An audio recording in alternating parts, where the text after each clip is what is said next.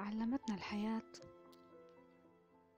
أن نبقى دائما صامتين أمامها حتى ونحن على شفا حفرة من الموت.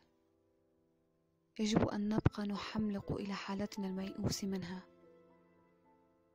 يجب أن نعلق آمالنا كلها في لحظة لا ندري متى ستنتهي. نسميها الأمل.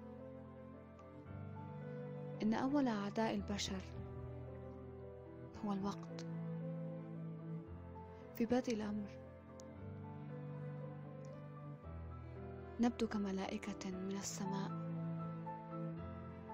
ينبثق الجمال منا في أول وهلة نرى فيها أنفسنا أمام المرآة. وما هي إلا أيام وسويعات تمضي دون أن ندرك الأمر. حتى يتحول ذلك الجسد إلى قطعة بالية مهترئة. تآكلت مع الزمن. مليئة بالشوائب والأخطاء.